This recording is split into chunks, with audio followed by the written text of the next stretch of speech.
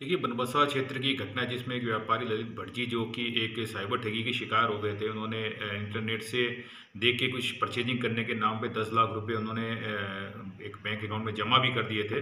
लेकिन जब उनको एहसास हुआ कि उनके साथ ठगी होगी, उन्होंने तुरंत चंपावत साइबर सेल संपर्क किया, जिसमें साइबर सेल ने उसमें होल्ड लगाते हुए दस लाख रुपये आज वापस भी उनको करवा दिए गए। तो मेरा हम सभी से, आम जनता से यही निवेदन है कि बिना वेरीफाई किए किसी भी तरह के जो एडवर्टीजमेंट या किसी भी चीज़ के ऊपर आप विश्वास में ना आए। कहीं भी कोई पेमेंट करते हैं या ऑनलाइन शॉपिंग करते हैं तो आप पहले उस नंबर को, उस साइट को, उस व्यक्ति को आप वेरीफाई कर लें, उसके बाद ही उसमें आप आगे आप कोई भी ट्रांजेक्शन करिए।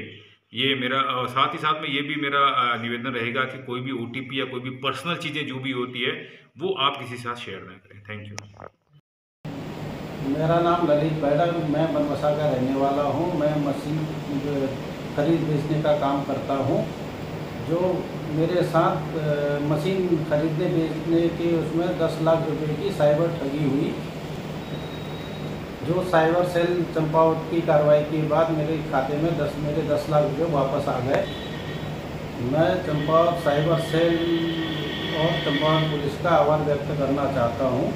साइबर सेल की कार्रवाई के बिना मेरा पैसा वापस आना संभव नहीं था।